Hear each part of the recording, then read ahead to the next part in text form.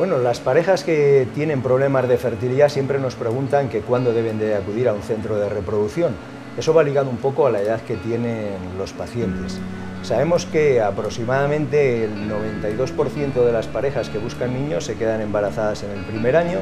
el 98% lo han conseguido en año y medio, entonces no debe de pasar más de ese tiempo porque ya sabemos que si no se ha conseguido un embarazo hay una probabilidad muy alta de que eh, tengan un problema para quedarse embarazada. Ahora bien, cuando las parejas son más mayores, por ejemplo, cuando tienen ya por encima de 38 años, siempre les recomendamos que ese tiempo lo deben acortar porque como la fertilidad disminuye con el paso de los años, no nos interesa que pierdan un año o un año y medio y entremos en un periodo donde luego es bastante más difícil conseguirle un embarazo. Entonces, digamos que medio año para las parejas de mayores de 38 años y un año para aquellas parejas que tienen menos de 38 años.